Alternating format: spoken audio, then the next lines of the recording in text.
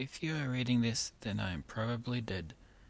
Or, more likely, I've just misplaced my journal.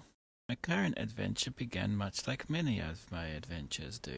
It's saying to go through Blood Valley. That sounds scary. Um, good luck with that. By abandoning my companions at the first sign of trouble, my adventure can truly begin. Within the Forest of Stone, I happened upon the Red Inn. There I met a gentleman who claimed to have never heard songs. I just never got around to it.